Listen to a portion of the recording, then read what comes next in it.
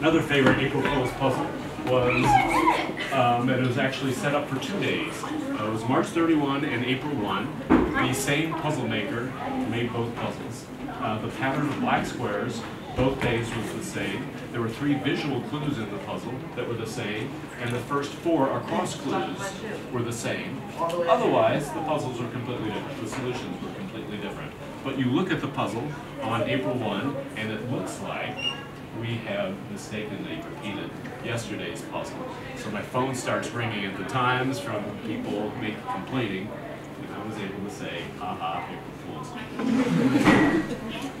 um, one of the most, probably the most publicity we ever got from a New York Times crossword was a marriage proposal.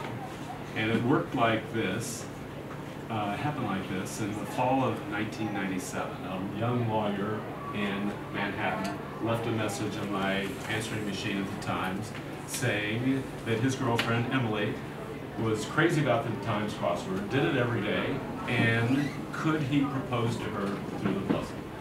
And my first thought was. This is a crossword that millions of people do. I can't put a message for you from you into the puzzle for Emily. And then I thought about it and thought there might be a way to do this. So I talked with uh, one of the regular Times contributors. I gave him a theme.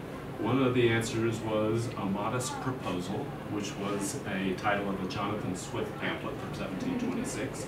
Across the middle of the diagram was This Diamond Ring, which was a Gary Lewis and the Playboys hit in the 60s. And uh, toward the bottom of the grid was Will You Marry Me, which was a Paula Abdul hit from the 1990s. So we put those three answers in the grid. He also put uh, the guy's name, Bill, and included in terms of Bill Gates. Uh, he also put Emily, as in Emily Dickinson, the poet, and at the very bottom of the grid he had the answer yes. And the clue for that was hoped for answer to 56 across, which was will you marry me? So uh, we arranged the, the day, the, the, the day that this puzzle will appear in the paper. Bill takes the day off from work. Uh, he called me later in the day to explain what happened. He hadn't slept all night. He was so worried what was going to happen. They go to their favorite brunch place in Manhattan. They pick up the New York Times on the way.